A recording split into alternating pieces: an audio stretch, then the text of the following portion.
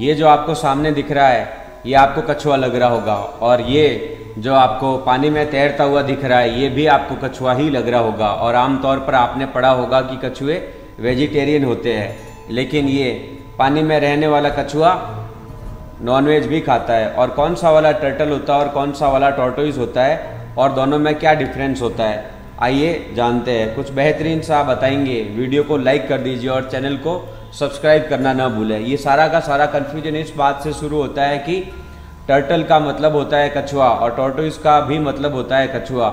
मतलब हिंदी भाषा में दोनों का मतलब कछुआ ही होता है।